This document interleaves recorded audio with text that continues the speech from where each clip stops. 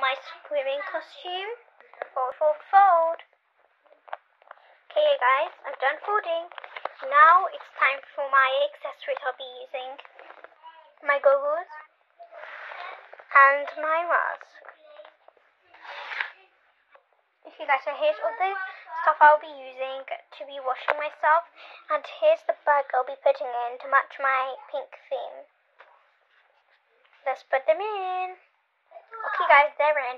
Now we're going to be folding our towels. Let's fold this in three, two, one. Okay guys, so it's folded now and so we're going to now we um this bag is going to be for our shoes that we're going to be putting in when we're done um swimming. So yeah. It's time to put all of these stuff into the bag. Okay, we'll start off with the towel. Okay, now our clothes. Goggles and mask. Okay, now it's going to be the things that I wash with. Okay, lastly, um, sorry, this bag. Okay guys, I folded it. So now let's just place it in. We're done! Come back for part two of my sister doing her bag.